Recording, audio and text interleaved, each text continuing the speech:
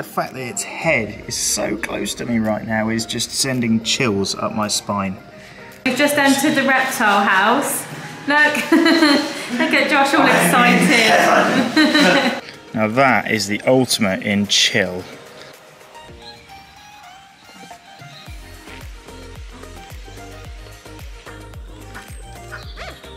You've got a very interesting face.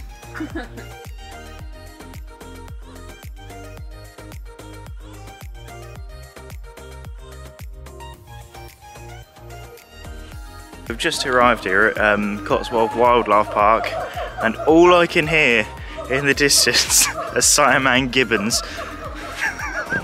this is what I remember from a trip from to Marwell years and years ago. That's all I could hear while I was there was Siamang gibbons and this is all you could hear all day. One of the only people you'll ever meet will buy a pair of sunglasses with another pair of sunglasses on her head. These ones are new, these ones are old. And I've got a little case. She just can't quite let go of the old ones though, so she's going to wear them both at the same time. No, I'm not. I'm taking the other ones off. Did he give you a little pouch? Yeah, yeah. They gave me a little pouch in my um, pocket. But yeah, we'll uh, show you what they got here. So what? Black and white colobus monkeys, uh, grooming each other. Important for their social structure. They're very social animals. That one there, don't know what he's doing. He's dreaming or being very silly. and uh, this one here, dangling his tail like Xavier does at home. If those gibbons in the background will actually allow me the time to talk to you, there's a burrow there. You'd think there'd be a mammal in there, but no. There's a burrowing owl. They excavate little burrows by themselves. They're awesome creatures. Uh, absolutely gorgeous. So there's a tawny frogmouth in here. Absolute master of camouflage by the looks of it. Look at that. And Melissa just spent several minutes trying to find it and here, couldn't see it. Jesus, we're getting closer to them gibbons, you can tell. Siamang gibbons, they have a little pouch they can inflate just beneath their chin, which is what gives them their loud resonating calls. And the thing that you can basically hear, if they're all on a calling spree, then you can hear them from any end of this park. It is, yeah, crazy loud and at times quite annoying. So these have got to be two of some of the cutest owls you've ever seen. Northern white-faced owls. They come from around the Sahara area in, the, in Africa and uh, have the distinction of kind of being one of the most adorable owls I've ever seen. So gorgeous. Okay, so this is a much larger enclosure and uh, well, it's difficult to appreciate just how big vultures can get until you see them up close. I mean, that is absolutely enormous. Wow. Such magnificent creatures. Ultimate scavengers. I don't know if you can just about see it in there, but that is a vermiculated eagle owl. So majestic. Just get the feeling that it's above everything. and not just literally. Yeah, just none of our problems seem to matter. Wolverines. I hope we managed to see them. They're fantastic.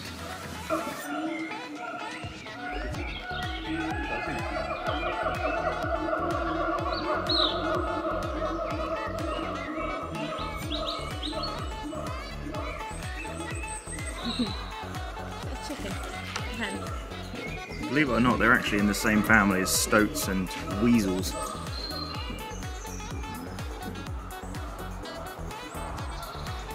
Just the largest member by a long way. And this is a bird I've always wanted to see. They got funny noises, the Eurasian spoonbill.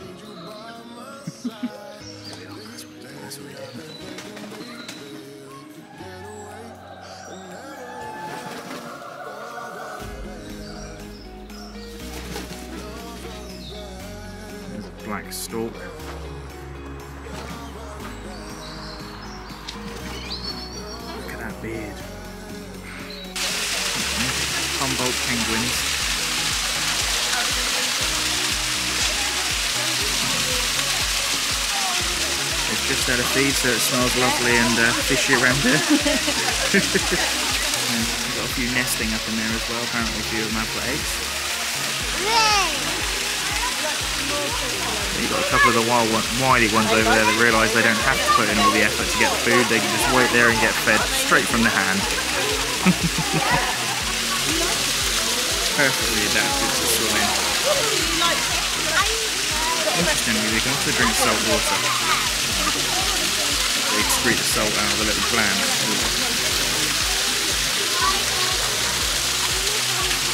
You can't ever go to a zoo of any kind without seeing absolutely gorgeous meerkats. Look at them. They've always got a sentry on the lookout because they obviously don't know they're in captivity. And, uh, oh, they're on the way over. Where are you all going? Tidying up the burrows. Gotta love their little faces. These guys also take down venomous snakes in the wild.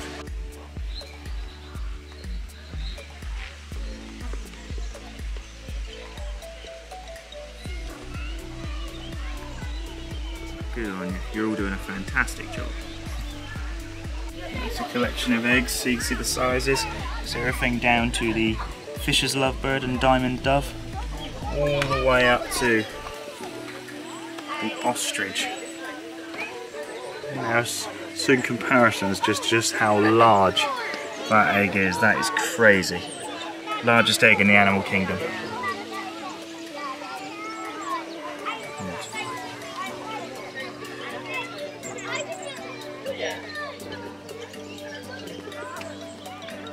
Just for comparison, that's an ostrich egg.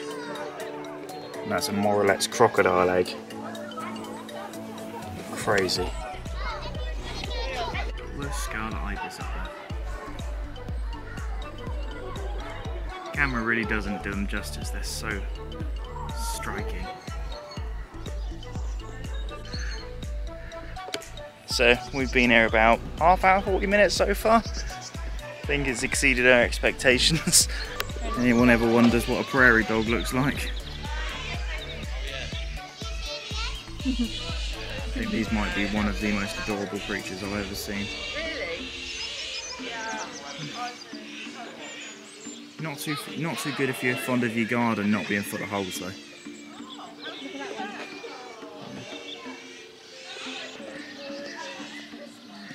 Reminds me of the dramatic chipmunk vine that was going on around. I mean, if love of any kind exists in the animal kingdom, I'm pretty sure that's quite close to it. So beautiful. My Asian short claw otters just chilling.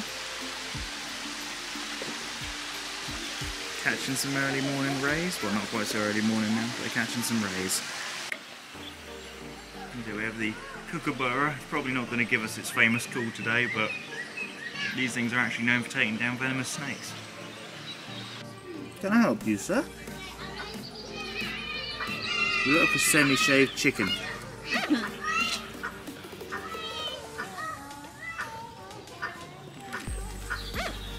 You've got a very untrusting face. Look at that bluish neck. I like the hair.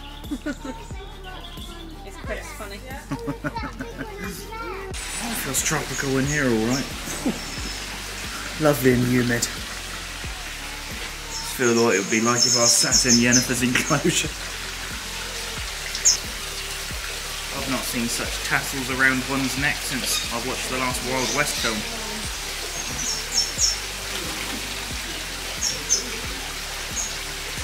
It's like the most exotic pigeon I've ever seen.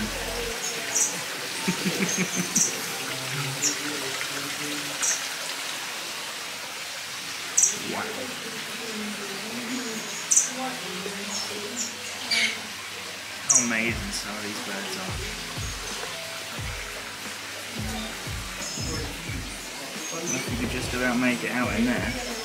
But in there is a very beautiful two-toed sloth.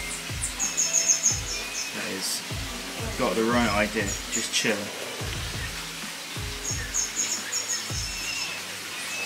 Oh, hello.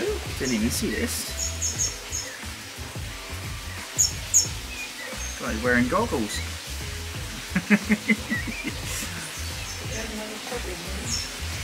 well, I was right. It is a pigeon, a Nicobar pigeon. You're the noisy one, aren't you? That's what we've always managed to hear since uh, we've come in here, is you lot.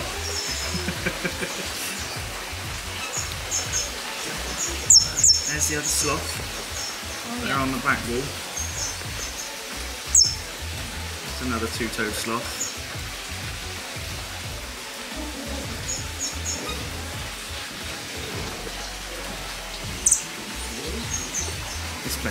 Amazing. I love little ecosystems like this that people built. all of your quips. Difficult to see, but look at the beaks and eyes on these guys. Green Aracari.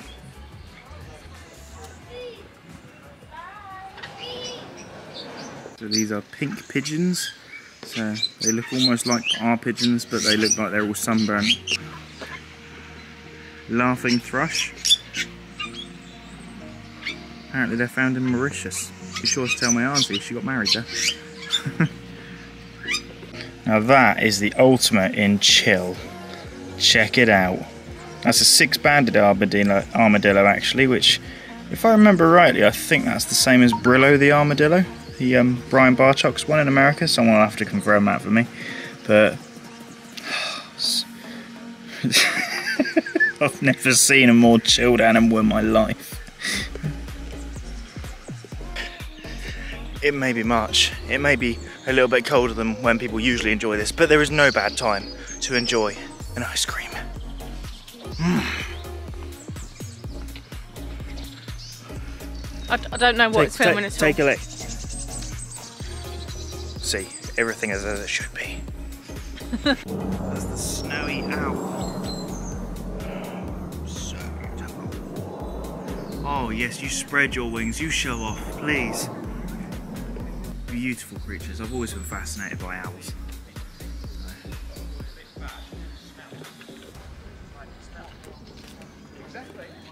I've never seen a more surprised looking owl. Hello, you two, yes. Think it might be feeding time. Well, making some noise.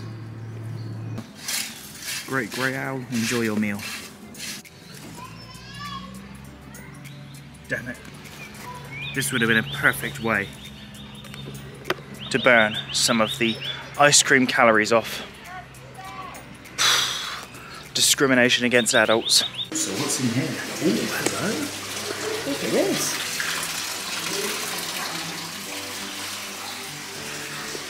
There's the tailless whip scorpion in there. Where are you? Where are you? It's my favourite invertebrate. Where are you? There it is, look at that. Tailless whip scorpion. Completely harmless. Kept as pets quite often. Look like the stuff of nightmares. They're, they're the insects you see in um, Harry Potter and the Goblet of Fire. But actually really good pets, believe it or not. They look like this again. They look like the stuff of nightmares, but in reality, they wouldn't be able to do anything to you. Incredible looking things. Love them. So in here we have what appear to be a pile of leaves, but look closer. And you'll see not all of the leaves are created equally. This is a giant Malaysian leaf insect. And there are even some right in front of us. Right here. Right there. How nature adapts these things. It's just crazy. All people with a, an aversion to cockroaches, look away now. this is a death's head cockroach. Look at these things. Most people would be creeped out, but I can't help but admire them. They're some of the toughest, toughest creatures on the planet. Known for their ability to be, eat basically anything. If there's something that is even slightly edible by a creature, they will eat it. This is something you don't see too often. A Fiji banded iguana. Oh wow, beautiful. If I remember rightly, in America, they can't have these full stop outside of a zoo. Uh, endangered species, if I remember right. I think it's a absolute national treasure. I can see why, even though this one's obviously in shed. Just look at how beautiful that is. Yellow around the nostrils. Those wonderfully adapted claws, adapted to climb, and that tail that is I'm gonna guess that's prehensile because that is extremely long. Cartoonishly long almost. Uh, and you are being such such a good poser at the moment for the camera. Thank you very much. Yeah. As much as I'm sure they'd try, I'm not sure Zia and Siri, the uh, leopard geckos, I'm not sure they'd be able to overpower one of these. I mean, look at the size of that of that locust. That's crazy. look at these. Huge, aren't they? The jungle nymph again. Look a bit, nightmare. a bit, no, yeah, a bit nightmarish. But the fact that they can stick to this glass like this, they're adapted little pads on their feet. That's oh. crazy. Especially look at the size of them. Beautiful, and there's a whole bunch of them all around there. They look like mutated, overgrown crickets or something. They're just crazy. And something here that's I'm pretty sure just about to appear in Melissa's nightmares. this is a salmon pink-toed bird-eating tarantula found in Brazil. They overpower eat large insects. Even been able to take small vertebrates on occasion. They are very powerful tarantulas.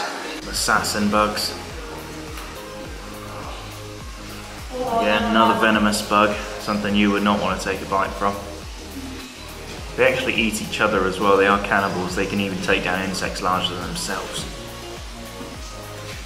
Emperor scorpion, world's largest scorpion. They get a lot bigger than that. It goes with a scorpion. The bigger the pincers, the um, less venomous it is. So Emperor scorpion sting is actually not much worse than a bee sting. This is an interesting area. They've got a Mexican red knee tarantula, and that is possibly one of the most beautiful tarantulas I've ever seen. I love the little contrasts, the colours on them, beautiful.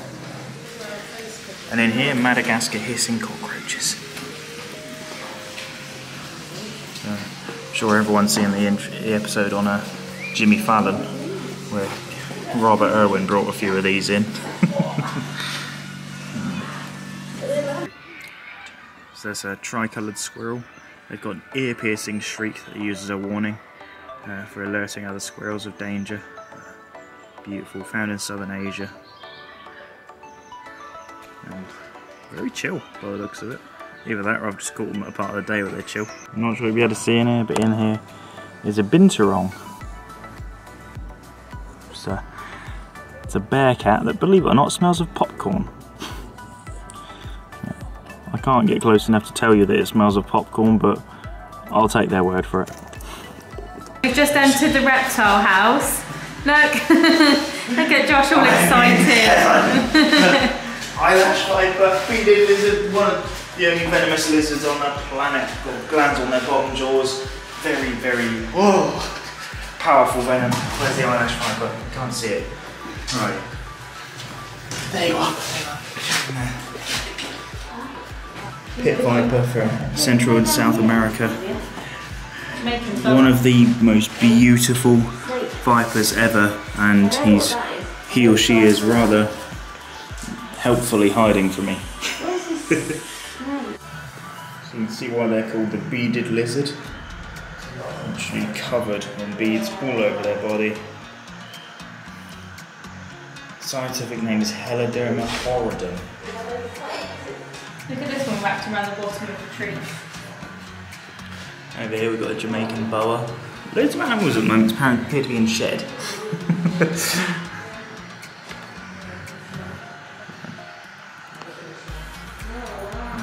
that is an absolutely... Oh. Yogi, I found one of your Jamaican cousins. We got? Gaboon Viper, where are you? yeah, there it is. There it is. There it is. I found it. oh yeah, I can see its body now. The unmistakable rectangles behind there. God, I wish this camera had more zoom. But that there is a Gaboon Viper. That is a very small one. They get much, much bigger than that. Big enough to take down rabbits in the wild, believe it or not. And uh, the longest fangs of any venomous snake. So over here we've got frilled dragons. Looking as awesome as always. Pretty sure that's what the Dilophosaurus in Jurassic Park was. Oh my gosh, look at that rattlesnake. Huge. Was uh, inspired by. And look, little gidgee skinks. Look, look a little armoured skink.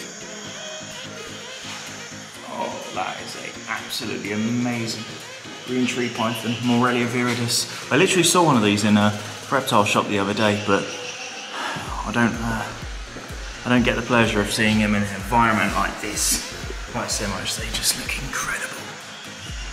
He'll be asleep at this time of day, but still, look at the muscles on the back of that head.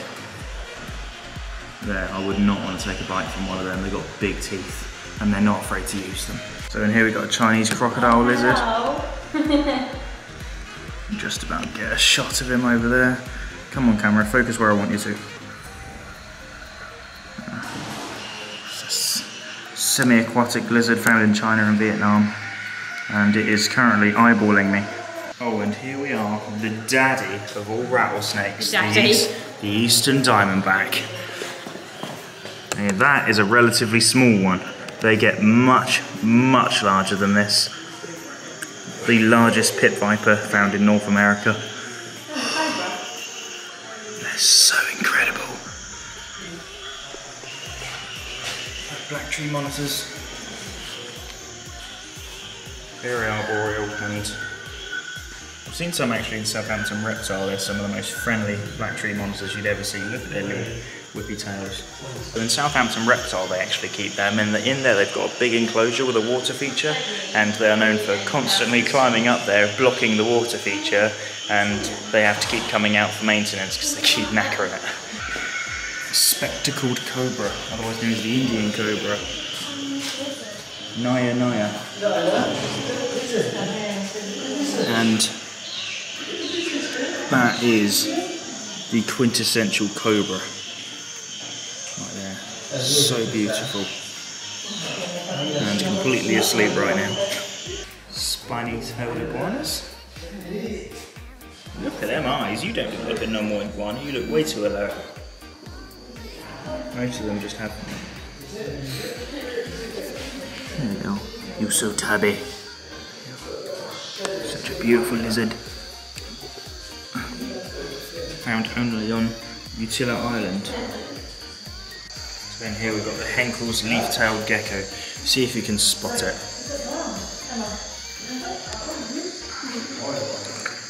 Masters of camouflage. What I need to just get across to if I can find it, is look at the eyes of this thing. They've got incredible looking eyes, almost like little, looking like little universes. Here is the beautiful pit viper. Now you have an absolutely massive head and a very thin neck. Found in Thailand, which, considering where some of my family hang out, I should probably let them know about this. and here, something I really want in my collection one day, the rhinoceros rat snake. Crazy. Look at them scales. Just chilling. looking amazing, sir. I will have one of you in my collection one day. That's one way to tell you're an arboreal snake.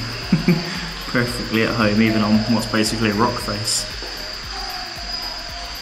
So in there, you've got the world's smallest crocodilian, the Cuvier's dwarf caiman. Now, small does not necessarily mean nice. They are still crocodilians and they still have an attitude. But this is the smallest of them all. There's another one hiding under there, I can just see the tail. Uh, although they're small at the moment, they still get fairly large. You're talking between four to five feet long still. Most reptiles can't send you to the hospital with one bite. They still definitely could, even on that size. If, even at that size, if they get hold of a hand or a finger. Tortoises. Look how tiny you are. It's a hard life being a tortoise. Something that Clint from Clint's Reptiles will be so pleased to see. Emerald tree skinks. According to him, these are the best pet lizards you can possibly own. Just looking at them, I can't disagree. Obviously I'm in a zoo so I can't really interact with them, but I'll have to one day. They look like an absolute blast. And that one's doing his best Spider-Man impression, just climbing straight up the brick wall.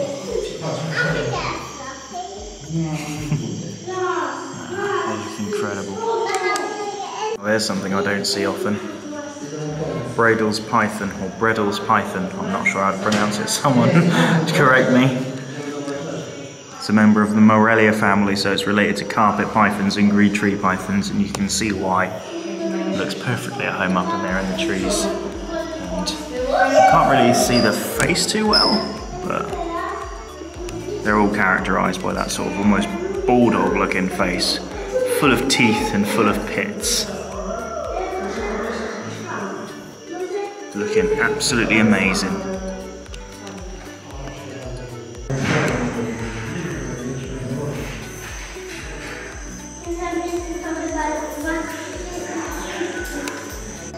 Look at what a beast you are. Yacare Caiman. I don't know if that's pronounced correctly, but I'll put a little uh, put a little caption up so you can see the name of it. But look at that. Look at those teeth.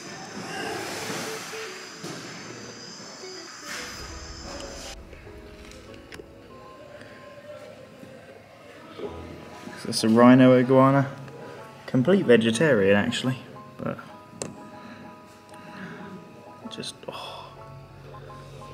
every one of these creatures just takes my breath away. Really, it does. But over here, one of my favourite animals of all time,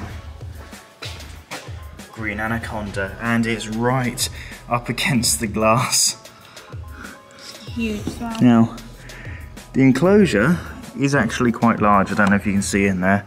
It looks like they're doing a water change at the moment, but this here, I mean,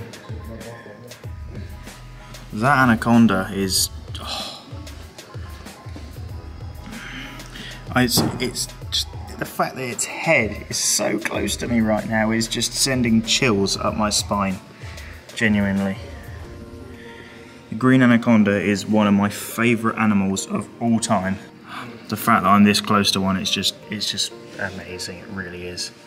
Especially one this size. I mean, don't get they get much big, much bigger than this, but I mean that thing, the width of that thing's body is fa- fatter than my thigh, and I am not a I am not a small individual.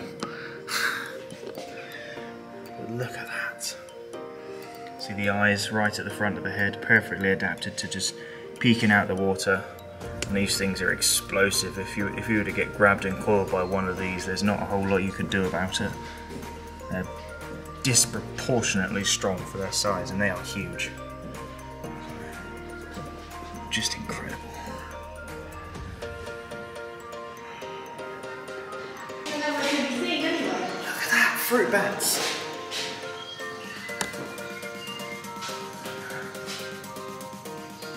They're huge.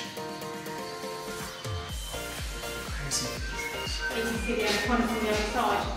Oh, I didn't realise oh, it was. Oh, there's another one. Yeah. Oh, there's actually two of them in there. I'm gonna guess that's probably a male and a female. The female is definitely gonna be that big, large one there. I don't see males often get that big. And the male one all the way over there. Oh.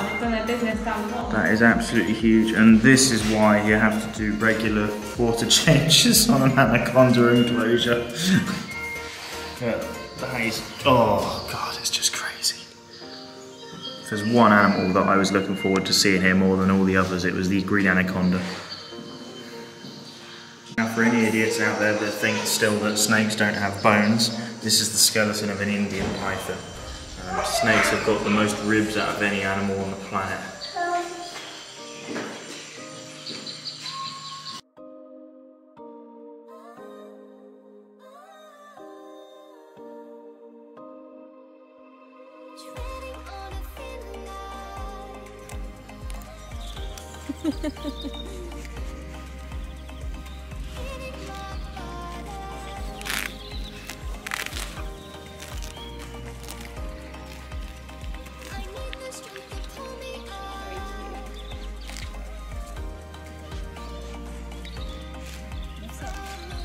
Quite soft, quite soft and dry.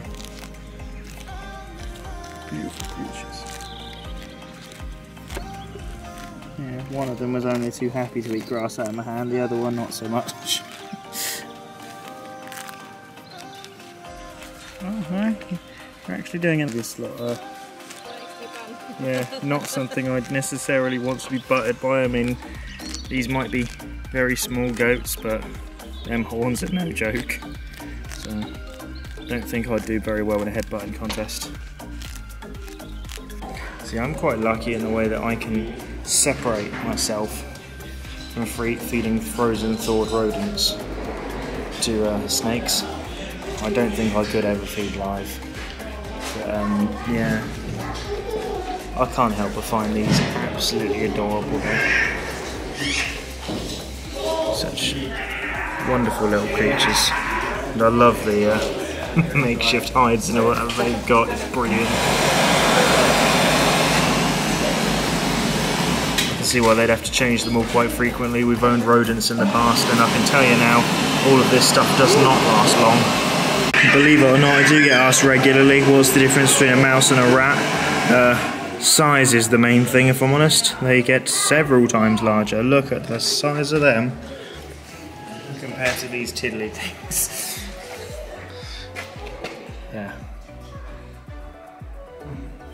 Rats are also, in general, a lot more intelligent and more interactive and make brilliant pets. It's just a shame they don't live all that long.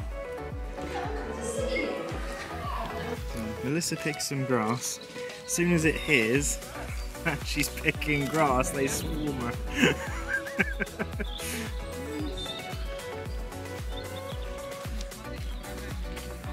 Especially interested.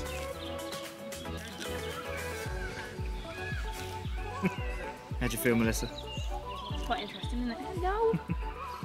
Hello. Just be careful of them horns near your face. Well, we've had an absolute blast of a time here, haven't we? We have. It's been nice. Yeah, it's really Yeah. good. Uh, absolutely knackered from all the walking now. I'm not very built for long distance. It's been about four hours. yeah, about four or five hours of walking, and that's been plenty for me. Thank you very much. So, uh, yeah, The weather's been nice though. Really good. yeah, it's been brilliant. The weather has. First time I've been walking around in a t-shirt for however long. Yeah. Not that anyone really wants to see that, but still. As long as you don't take it off. yeah. So uh, I'll be sure to put all this footage together into a nice video and uh, show it to you all soon. Thank you very much for coming along with me. And obviously Melissa, who's always happy to see everyone, aren't you? Yeah. And as happy as she is to film me at times. Although I've been doing most of the filming today, she's just been gawping at the animals, which is understandable. They're incredible. And she got new sunglasses, as did I. White sunglasses, which suit everyone. No, they don't. Yeah, they do. They definitely do not. They do. Nothing wrong with white sunglasses. They are very telling of a man who is confident, even though I'm not particularly confident. But yeah. I'll leave it there. Bye-bye. Look at how beautiful that emerald tree skink is. Such a cheeky little face.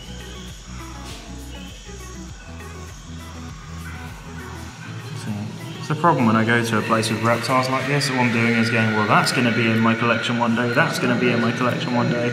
And this here is definitely something that I think needs to be in my collection one day. They're so crazy.